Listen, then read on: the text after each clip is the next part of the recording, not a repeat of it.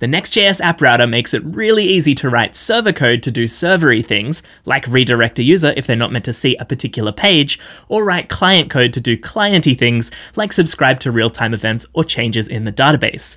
Now we'll look at both of those examples over the next few videos, but in this one, I just wanted to make sure we had a really good understanding of the problem we're actually trying to solve. So, why do we need cookie-based auth? Well, here I have an application that's fetching some to-dos from Supabase.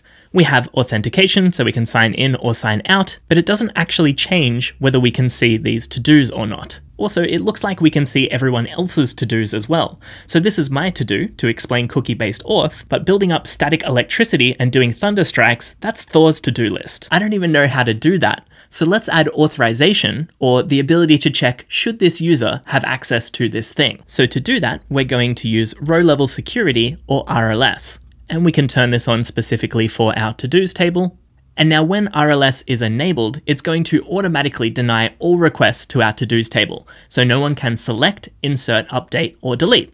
Problem solved. Database secure. No one can access anything. And we can confirm that by going back to our application and refreshing, and we get back an empty array. Great, but we usually do want to access things again. Otherwise, why did we put them in the database? So let's add a policy and we're going to create this one from scratch. We want to enable read access for to-dos. So this will be when users are selecting these rows. We're just going to leave target roles for now, and then as our using expression, we're going to put the value true, which means we're basically just turning off all restrictions for this select action. So we're enabling read access for to-dos. And so let's click review, and this will show us the SQL that's about to run on our database. We can click save policy to run that SQL. And now if we go back to our application and refresh, we can see those to-dos again. But again, we can see all of the to-dos. We only want to see this one to-do that's actually mine.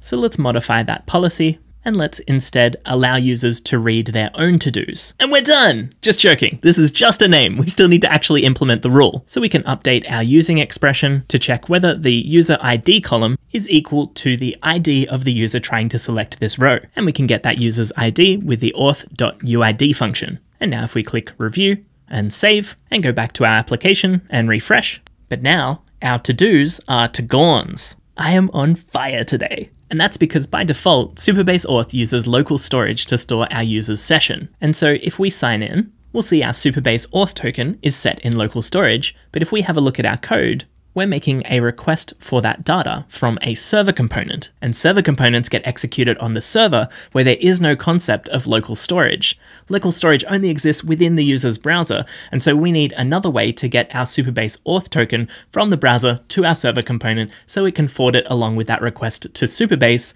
so that our RLS policy knows who the user is and can give back their specific to-dos. And that's why we need cookies. So if we configure Supabase auth to use cookies rather than local storage, now when we sign in, we not only see our to-dos, but only the to-dos for the signed in user. And that's because our browser automatically sends that cookie across with any request to the server. So when we request our server component route, we automatically pass our Supabase auth token along in a cookie. Our server component can then send that auth token along with our request to Supabase, which then knows who our user is who signed in and only gives us back the to-dos for that specific user. If you want to learn how to configure Supabase Auth to use cookies instead of local storage, I recommend you check out this video right here. We're going to be doing a series of videos showing how to do all of the new Next.js app router stuff, but this is where we start with authentication. So until next time, keep building cool stuff.